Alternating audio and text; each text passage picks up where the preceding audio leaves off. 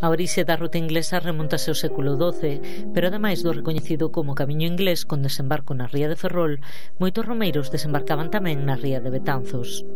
Está documentado que o camiño que tamén viñan en barco hasta Sada. Entón, desde Sada, iban andando por Bergondo, San Salvador Bergondo, temos un mosteiro aí, chegaba a, a Betanzos tamén, ou eh, o Convento das Donas, en Betanzos, e aí seguían por o camiño a pé, ou ben arriba en Bergondo podían seguir tamén eh, a coller o camiño o resto do camiño inglés en Abegondo, non? Unha ruta que combina traxecto por mar e por terra e que agora varias asociacións e empresas da zona traballan en recuperar. A gota marina do Camiño Inglés eh, a idea é, eh, bueno, estamos facéndola desde Ferrol, eh, saindo de, das inmediaciones de Ferrol e hasta o Porto Deportivo de Sada e incluso subindo polo Mandeo hasta Betanzos para continuar a ruta a pé. É un percorrido mm, xa por terra bonito, pero por mar eh, é unha delicia, porque esa é a ría de Ferrol, entre os castelos de San Felipe a Graña, é unha salida mm, preciosa é unha duración pois, entre 2 e 3 horas, depende o vento, e, e a corrente que collas en Ferrol, dependendo se, se entra ou vacía marea, pero xa digo, é unha, un paisaxe moi, moi pouco urbanizado, moi, moi bonito, e,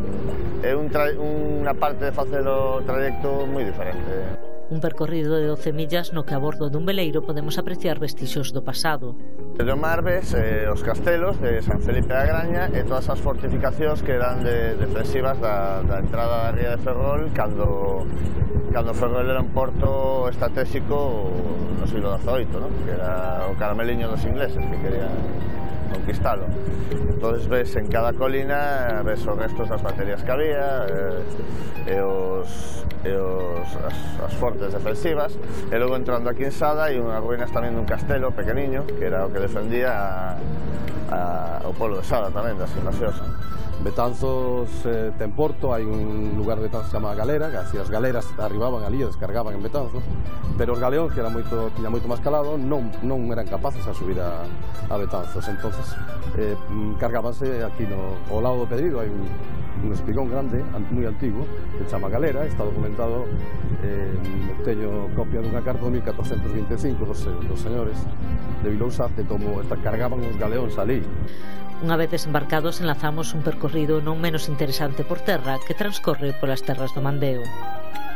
A Poníbal vai nos indicando tamén por, don, por donde vai o, os camiños antigos, non? E, en Bergondo hai un lugar que estuvemos buscando estas semanas pasadas que aparece documentado como o Camiño dos Mouros. Claro, xa, eso xa indica un camiño moi antigo,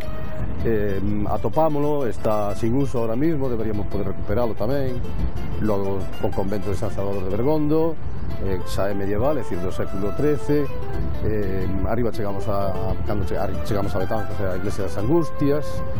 E unha das rutas que tamén hace, aparte de entrar por Sades, entrar por la zona del Pedrido,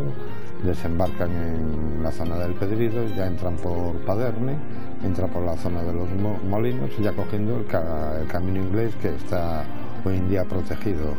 Entonces ya pasan por Tiobre, llegan a Betanzos, ya tienen su albergue también, si quieren coger albergue, si no hay establecimientos de turismo, como nuestras casas, para alojarse. Todo lo que es Paderne, Miño, Betanzos, eh, Sada, Bergondo, Begondo, es todo reserva de la biosfera y bueno, el valor que tiene añadido, que es el río Mandeo, porque bueno, al fin y al cabo es el eje vertebrador de toda esta reserva, y toda su zona protegida es lo que le da el gran valor. De ahí que naciéramos nosotros como Asociación de Río Mandeo, con a ayuda da Deputación e de todo, que nos prestou gran apoio, e agora a ver se si, si conseguimos que non se pierda nada desto e que se consiga mucho, darle mucho máis valor a toda a zona. Unha ruta xa percorrida tanto por mar como por terra por peregrinos actuais, e na que agora traballan conxuntamente para que se xa recoñecida por patrimonio, igual que a ruta de Compostela a Santo André de Teixido.